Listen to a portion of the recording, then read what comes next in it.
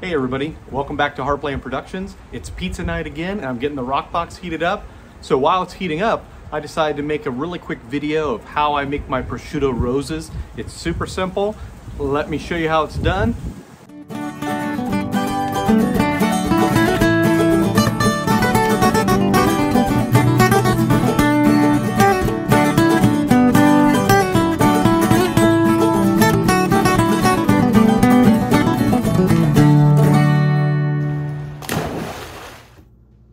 So here's all you have to do is get some prosciutto, separate it out. Don't worry about breaking it up. It's not a big deal.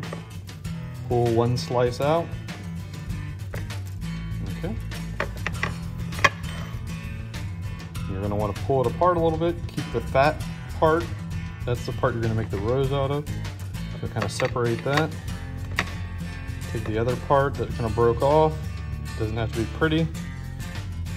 And then you just kind of lay it down. And gently you kind of just roll it up. This is gonna be the center. Just roll it up like that. See how it kind of makes like a rose looking like that already? And what I do is start on the skinny side of the that. And you just gently wrap that around. Just do this, that's all it takes. Right there, that makes the rose. Very simple. All it takes. You just pop those on the pizza. You can make them looser or tighter if you need to.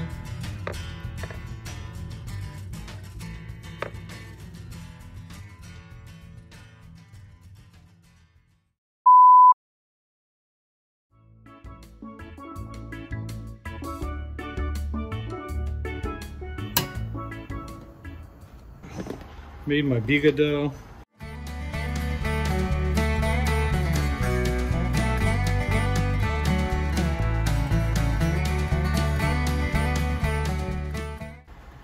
Yeah, pushing the dough out.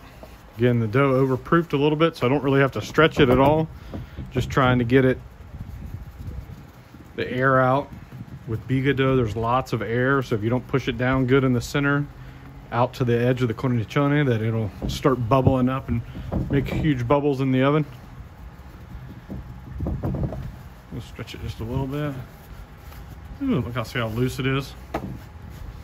Don't need to do much of anything.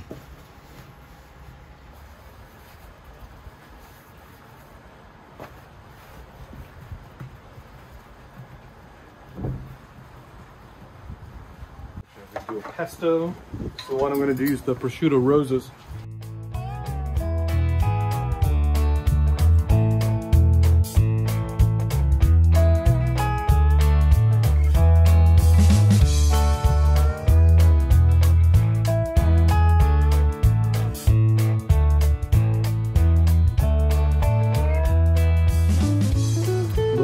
More Parmesan, although it has tons of it in it already. Fresh mozzarella.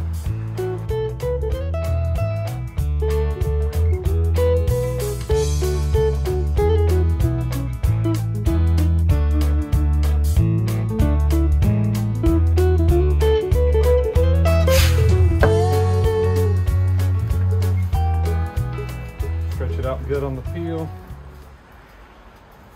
Okay, let's get this launched. The shelf's doing a great job. Perfect. Oh, you see that big air bubble in the middle? We're going to gently do this. Tilt it up on the edge. It lets the air escape.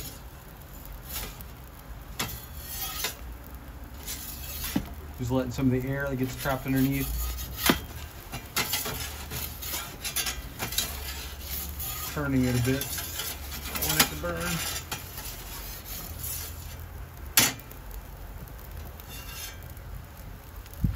Looking good so far. Very windy today. Kind of making the flame a little finicky.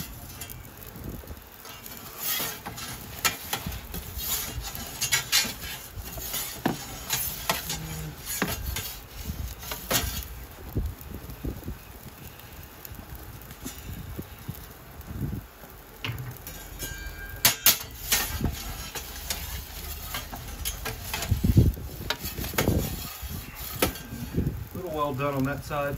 A little more than I would have liked. Right there, you kind of see slightly burnt. Okay, we're gonna pull this off and dress it. Put it on a cooling rack. So what we're gonna do is that we're gonna put a little some microgreens on this one.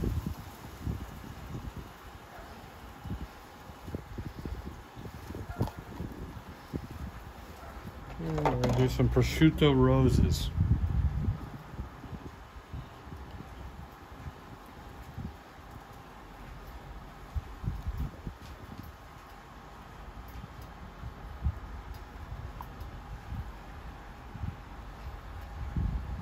Sprinkle more Parmesan on top. Turned out pretty well.